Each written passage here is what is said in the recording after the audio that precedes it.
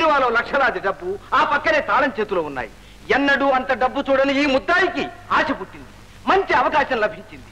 డబ్బు దొంగిలించి పారిపోతున్న సమయంలో సురేంద్రనాథ్ డబ్బు కోసం ఆ గదిలో ప్రవేశించాడు. ముద్దాయికి ఏం చేయాలో తెలియక కంగారుతో సురేంద్రనాథ్ను కొట్టి ఘోరంగా హత్య చేశాడు. అబద్ధం పంచబద్ధం నేను దొంగతనం చేయలేదు.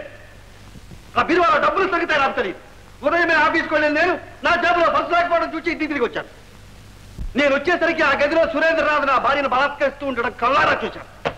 కోపంతో ఒళ్ళు మండిపోయింది నా భార్య శివాన్ని కాపాడడం కోసం అతని మీద తలపడ్డాను. ఇద్దరం తీవ్రంగా దెబ్బలాడుకున్నాం.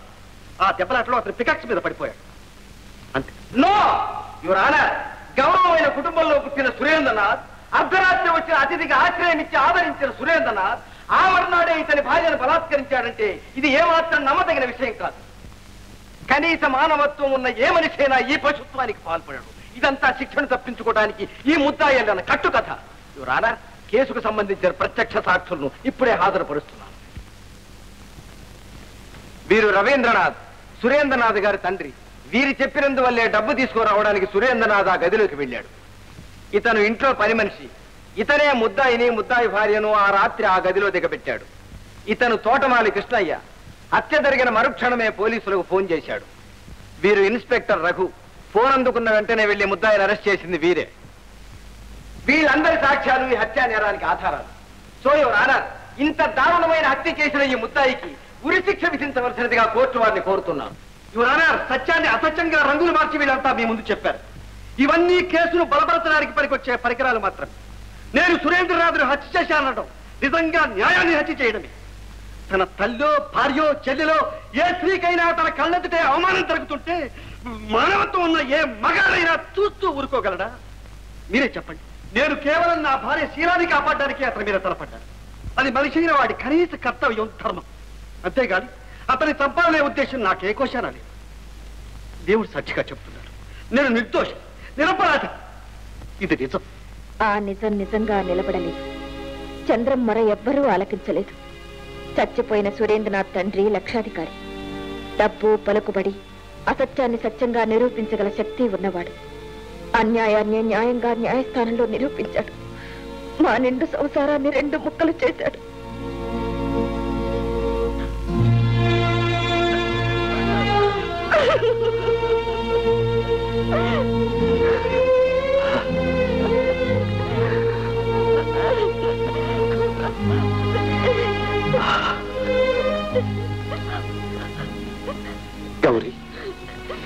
వాళ్ళు ఎన్నో సుందర స్వప్నాలు కన్నా ఎన్నో ఊహా సౌధాలు నిర్మించుకున్నాం అవన్నీ ఒక్క రోజుకి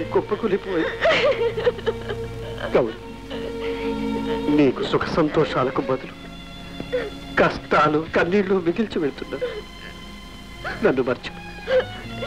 నన్ను మర్చిపో గౌరీ. లేదు చిత్రం మర్చిపోలేదు ఎంతకాలమైనా నీకోసమే నిరీక్షిస్తుంటాను. జీవితాంతం నీకోసమే నిరీక్షిస్తుంటాను గౌరీ ఏం గురు